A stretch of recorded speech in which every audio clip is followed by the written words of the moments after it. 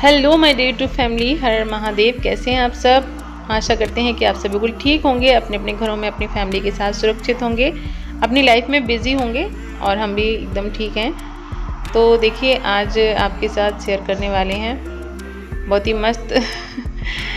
Guys मौसम change हो रहा है तो इस चीज़ का आप ज़रूर से यूज़ करिए अपने बच्चों के लिए। ये है ग्लोए और इसकी एक लकड़ी है, ये हमने कट करी है अभी बाहर से।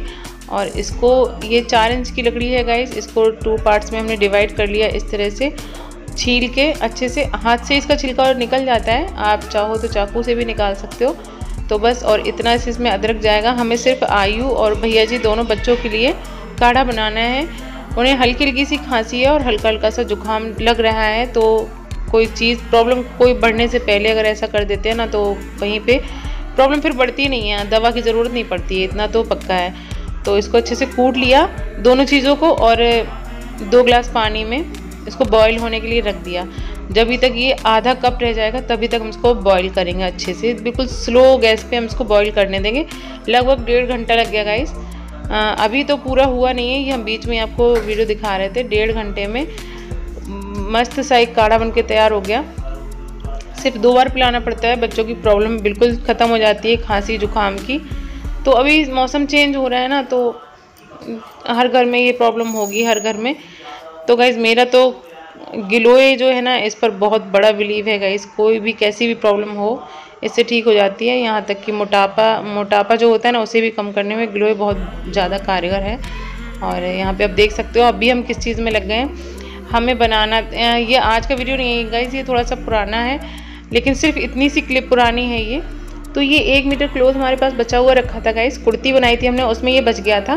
तो बच नहीं गया था एक्स्ट्रा आ गया था। तो उसका ये क्लोथ है। तो यहाँ पे इसको हमने कट कर लिया राउंड राउंड ये चार पीस हैं राउंड राउंड कट किए। किस लिए किए हैं? जो रोटी क्लोथ होता है ना, रखने के लिए, रोटी के लिए एक डोंगा टाइप बन जाता है, या सिर्फ़ एक गोल क्लोथ होता है। आपने देखा होगा, आपके घर में भी होगा। यूज़ करते हो आप। जैसे हम पेपर यूज़ करते हैं रोटी मोस्टली ज़्यादातर लोग पेपर यूज़ करते हैं बट नहीं होता है ठीक वो।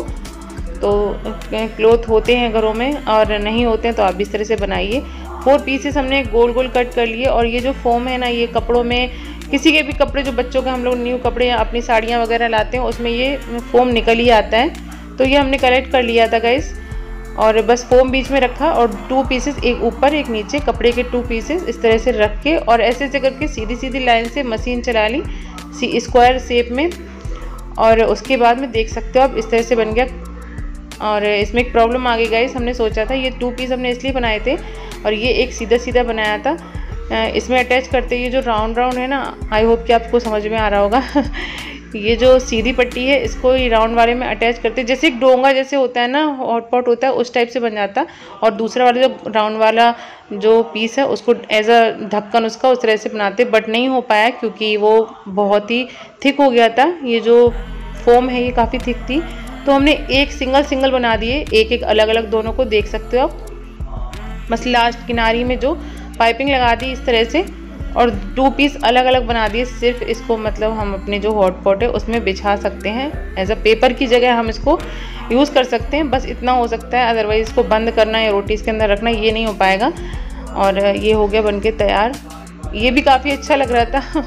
दो बने हुए हैं। तो बनाने के बाद हमने सबसे पहले इनको कर दिया वॉश और इनको सूखने के लिए डाल दिया। मशीन में सुखाया तो जल्दी सूख गए, क्योंकि हमें आज ही इनको यूज़ करना था गाइस हमसे रहा नहीं जा रहा था।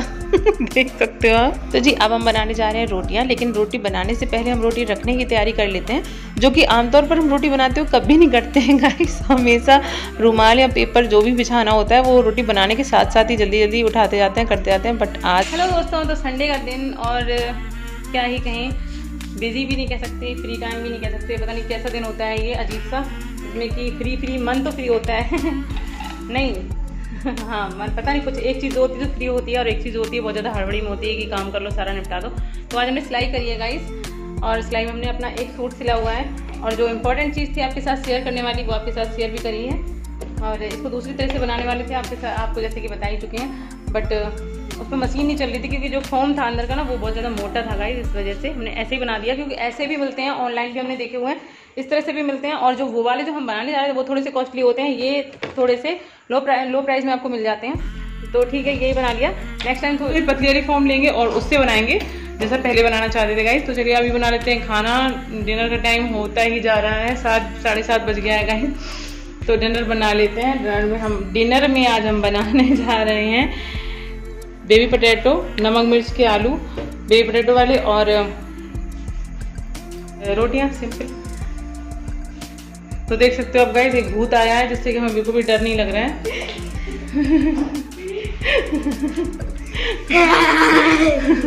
ये कैसा भूत होता है गाइस जिससे कि अगर आप डरोगे नहीं ना तो ये रो रो के घर भर देगा। वैसे ये वाला बहुत बड़ा हो चुका है, फिर भी इसकी यही आदत है कि इससे डरना ज़रूरी है। तो गाइस फिर ये बना लेते हैं फटाफट से रोटियाँ।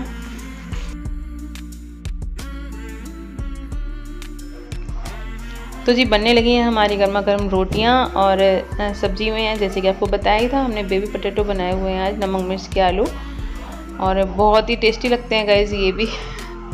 तो काफ़ी टाइम से बेबी पटेटो नहीं बनाए हुए थे। आज पति जी ने बोला कि उन्होंने मार्केट में देखा और बस झट से ख़रीद ली।